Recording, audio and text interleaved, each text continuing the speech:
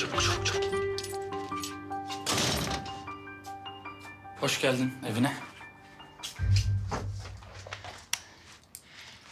Buraya böyle bir tane küçük masa koydum. Bir de koltuğu koydum. Biz rahmetli burada uyuduk iki kişi yani. Rahattır sorun yok.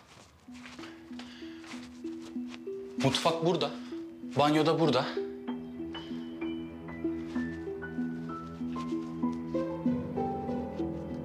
Oldu beğenmedim. Ne bileyim. Tamam öyle lüks değil kabul ediyorum evet ama en azından güvenli yani. Hem zaten şunun şurasında bir haftacık ya. Ondan sonra sen 18 olacaksın. Biz nikah basacağız. Bitecek gidecek. Öyle de. Tutsana şurayı. Bir şey söyleyeceğim. Önemli olan şey senin iyi olman. Bebeği düşün. Mutfakta atıştıracak bir şeyler var. İstersen onlardan yersin. Benim bir okula gitmem gerekiyor.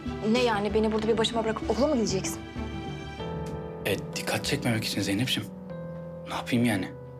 Zaten sen duşa falan girersin. Yemeğini yersin, atıştırırsın bir şeyler.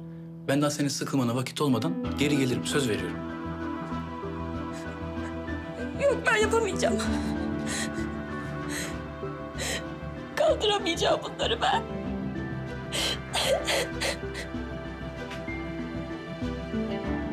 Zeynep.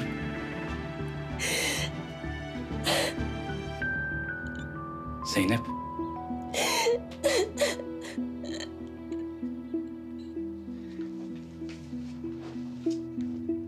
Tamam. Şöyle düşünelim. Yani ben öyle düşünüyorum en azından. Bundan seneler sonra bugünleri güleceğiz biz.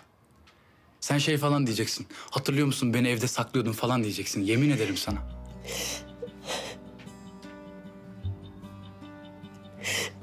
Bu ev.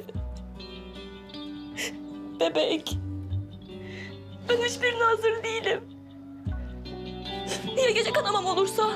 Ya kötü bir şey olursa? Sana bir şey olursa ben zaten yan evdeyim. Bir saniyeye gelirim yanına. Gece olduğunda da evden kaçarım bizimkiler uyuduktan sonra. Gelirim senin yanına. Birlikte kalırız. Olmaz mı?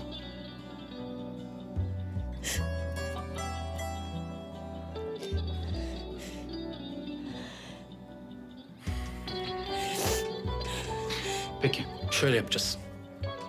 Ben akşam gelirken senin istediğin bir yemeği getireceğim. Birlikte onu yiyeceğiz. Ne getireyim sana gelirken? Mantı. Mantı mı? Peki tamam. Tamam mantı getireceğim gelirken. Onu da birlikte yiyeceğiz. Tamam mıdır?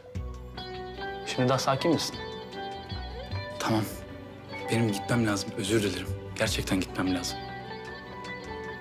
Dediğim gibi mutfakta yemek var. Atıştırmalık bir şeyler işte. Onlardan yersin. Bir de perdeyi açık bırakma. Kimse görmesin. Hadi geleceğim ben hemen tamam mı?